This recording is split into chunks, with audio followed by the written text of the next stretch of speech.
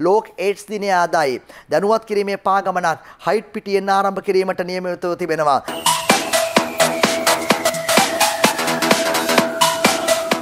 අක්මීමන වාර්තාකරු සුනිල් ගමගේගේ සටහනක තමයි එම වාර්තාව දක්වන්නේ. අපි පාගමම් මෙහි සංවිධානය කරනවා. අපි මෙහි පෝස්ටර සෙමින සම්මන්ත්‍රණ පවත්වනවා. දන්නවද ප්‍රමාණය රටේ 3000කින් කෙනෙක්ට ඒඩ්ස් තියෙනවලු. තව පාගමන් යමු. අනුරාධ හේරත් සහ ක්‍රිෂාන් පත්‍ර ජයසූරියගේ වාර්තාවක දක්වනවා.